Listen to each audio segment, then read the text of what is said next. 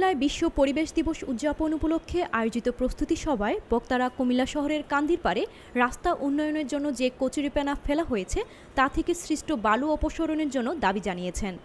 উন্নয়নের বালুর কারণে এ সড়কে প্রতিদিন হাজার হাজার মানুষ চরম দুর্ভোগ পোহাচ্ছেন।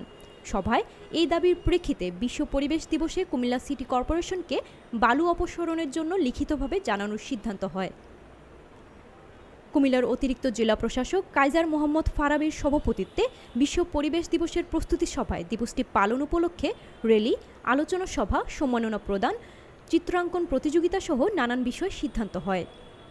সভায় কুমিল্লার অতিরিক্ত পুলিশ সুপার মোহাম্মদ নাজমুল হাসান, কুমিল্লার general settlement officer Shamsul Alam, পরিবেশ অধিদপ্তর কুমিল্লার সিনিয়র কেমিস্ট জহিরুল ইসলাম তালুকদার, কুমিল্লা দুর্নীতি প্রতিরোধ কমিটির সাধারণ সম্পাদক শাহ মোহাম্মদ আলমগীর খান সাপ্তাহিক অভিবাদন সম্পাদক আবুল হাসানাত বাবুল, দৈনিক কুমিল্লার কাগজ সম্পাদক আবুল কাশেম হৃদয় প্রমুখ বক্তব্য রাখেন।